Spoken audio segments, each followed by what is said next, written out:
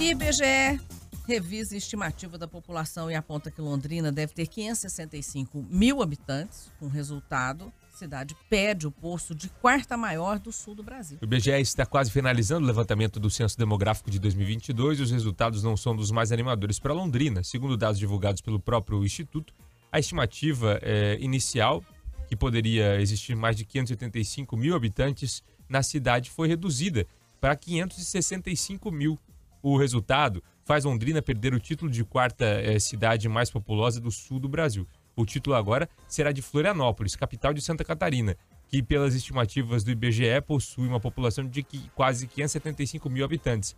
Esse não é o primeiro censo que aponta a perda de fôlego da cidade de Londrina. Em 2010, Joinville já havia passado a cidade.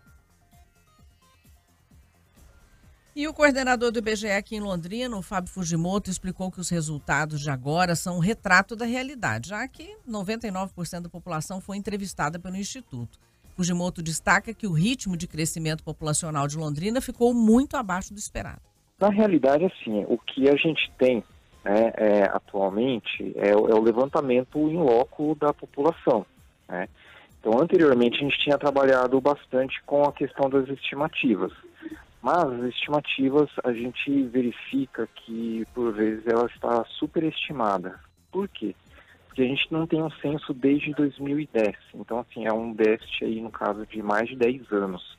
Estava previsto, né, na época, né, a realização também da contagem da população. Então, sempre né, no período intercensitário, né, no, no, nos anos de final zero, é feita uma contagem da população justamente para a gente conseguir, é, é, vamos dizer, ajustar melhor essas estimativas. Né? Então, como a gente não teve também a contagem da população em 2015, então diversos municípios a gente observa né, essa questão da, da, da estimativa está né, é, defasada no caso, né? Então, vamos dizer, seria um ritmo de, de crescimento né, que teve, mas não tão acelerado quanto se esperava. Fujimoto destaca que o atraso da realização no censo também gerou uma expectativa de uma população maior do que a real registrada o crescimento teve, né? não é que teve redução, mas a, a, o que não teve foi esse ritmo esperado de crescimento, né? justamente por aquelas questões né, que eu mencionei anteriormente, com relação à estimativa, né, da, da, no caso a contagem da população, que a gente não, não conseguiu fazer, né, não foi liberado orçamento para a gente poder estar tá realizando né, a contagem da população em 2015, o que acaba afetando né, a precisão da estimativa. Então, por isso que era imprescindível, né, a gente está fazendo esse censo demográfico atualmente, para que justamente a gente verifique qual que é a população real né, na, nos municípios e como que vai estar, tá, vamos dizer, a tendência de crescimento é, municipal, não só municipal, como do estado e também como do, do país inteiro. E quem ainda não foi entrevistado pode até hoje ligar para o 137, esse é o número, 137, o Disque Censo, e ser entrevistado pelos recenseadores. Gostaria de destacar, né, no caso, o Disque Censo 137, que está disponível aí desde o início do mês. Então, assim, o serviço ele vai estar disponível até dia 20 agora.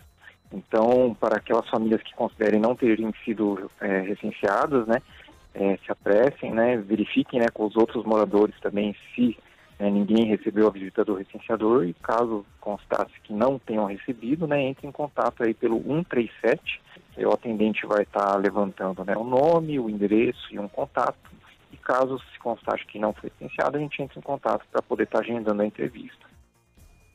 Aí, Raquel, é, o dado então, Luciano apontando essa queda no número de, de, de é, população em Londrina, mas um censo que deixa muitas dúvidas, né? É, porque na verdade não foi só Londrina, né? Várias cidades questionaram, né? Muita gente fala, ah, não foi entrevistado, ah, você tem que ligar no Disque Censo. É, ficou meio, tá meio estranho mesmo. Eu não sei se ele tem razão nessa questão de ter criado essa expectativa, porque foi tudo diferente, atrasou, avançou para 2023, o que não deveria ter acontecido. Então as pessoas. E foi lançada também uma estimativa inicial de 580 mil habitantes, blá blá blá. Então, assim, eu acho que tudo isso gerou uma expectativa, sim. Mas pode ser que tenha erros, sim, gaps aí, de pessoas que não foram entrevistadas, que não. Ele falou em 99% da população.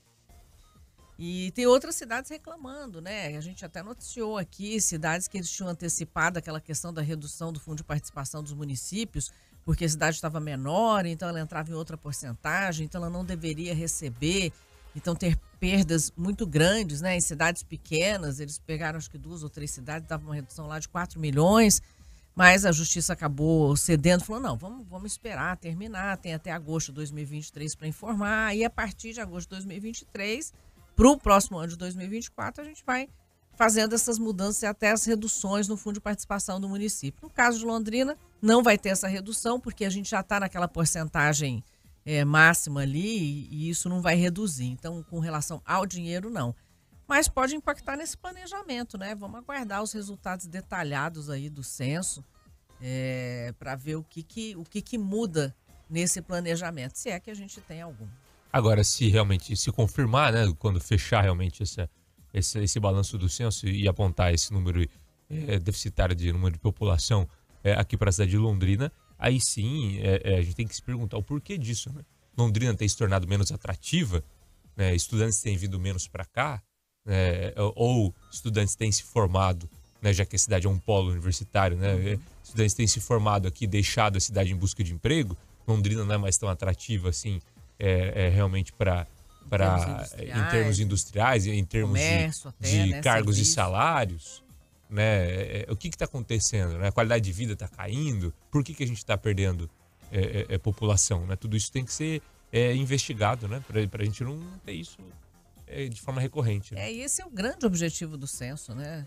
Para Londrina e para o país todo. É você catar esses dados aí, olhar com muita minúcia e entender qual que é o movimento. Pode ser um movimento é, natural das, das grandes cidades brasileiras aí, digo aquelas que têm mais de 500 mil habitantes.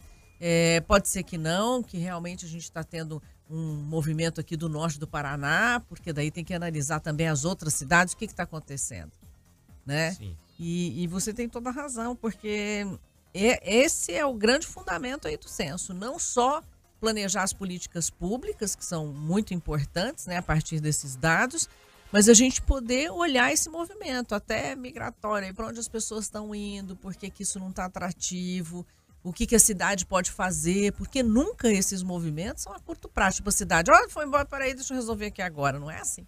São coisas que são construídas.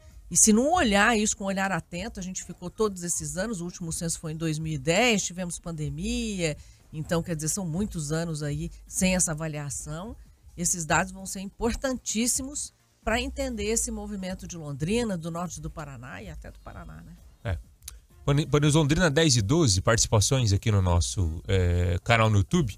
Jovem Pan Grupo RIC, Jovem Pan Grupo RIC, você pode participar com a gente através do nosso chat. Sexta-feira a gente faz sorteio de brinde sempre para o pessoal do nosso canal no YouTube. Você pode acompanhar o nosso programa também em imagem.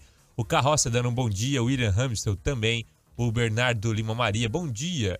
Boa ah, segunda Guarujá, de carnaval. Bernardo, Tempo nublado aqui no Guarujá. Ei, carnaval bom, hein? Na praia, Bernardo. É, a Flávia Petrobon. Enquanto isso, o prefeito está falando do show da pipoquinha. Ah, isso é uma polêmica que é, aconteceu. Que nós vamos na, até comentar aqui hoje aqui. Sexta-feira, é. né? Aliás, tem, tem matéria sobre isso? Tem. Tem? É. Lamentável, né? É, é cada coisa que vamos falar a verdade. Foi News Londrina 10 e 13.